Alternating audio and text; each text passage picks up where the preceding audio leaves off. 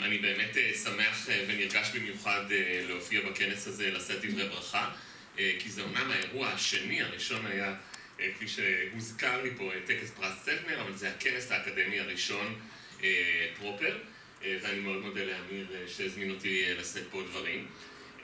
באמת, מכון שיבוביץ לקניין רוחני, הייתי אומר, הוא אבן הפינה לעיסוק בכלל של הפקולטה בסוגיות של משפט וטכנולוגיה, של משפט וקניין רוחני, או של באמת הסוגיות שעולות גם בדיון הזה, פטנטים וכולי. דבר שאנחנו, כפי שכבר שמענו, חווים תודה גם לחברנו פרופסור מיכאל בירנהק, שהתחיל את הפרויקט, ולאמיר חורי, שנטל את המושכות לאחריו.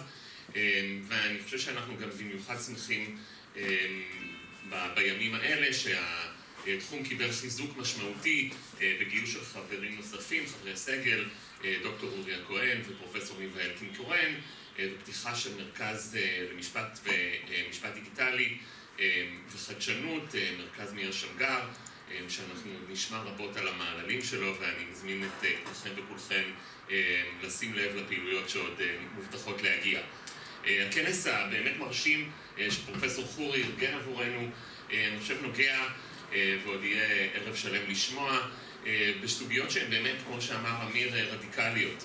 הן נוגעות לעצם השאלה שאני חושב רבים מאיתנו שואלים, של מהו בעצם האנושי בימים האלה, כן, רפורמות או טרנספורמציות עמוקות ברעיון בכלל של פטנט, של מחבר, של יצירה בעידן של AI ובעידן בכלל של טכנולוגיות חדשות, כמו שאנחנו רואים גם ללב של חזיר שעובר טרנספורמציה גנטית ומושתל בקרב אנשים ומעלה גם כן את השאלות של מותר האדם מהבהמה ובמקביל של מותר האדם, הייתי אומר, מהמכונה.